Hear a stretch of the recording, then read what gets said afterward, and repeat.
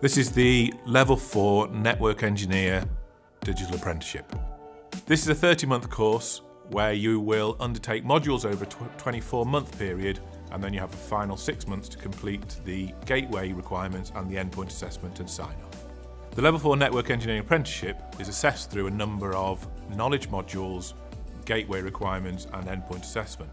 At Staffordshire University we provide the learning through completion of a foundation degree in ICT.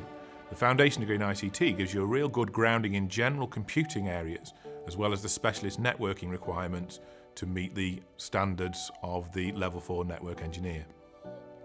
You'll study a, number of modules specialising in networking in topics such as LAN, WANs and wireless networks, quality over converged systems and uh, route and switching.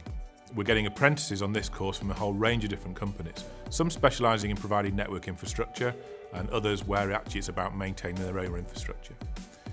the companies we're working with are a whole range of local, regional, national and international companies. The apprenticeship programme provides you with a, a, real way of getting to know your employees as they develop. The fact that they can um, come to us and study over a 42 month period to develop their skills whilst working means towards the end of the apprenticeship you really got to know those, uh, those people and become an integrated part of your workforce. So you join the course and we pick studies up from a you know, first principles level and build strongly. The great part of the apprenticeship is that you get to build those skills alongside the study in the workplace.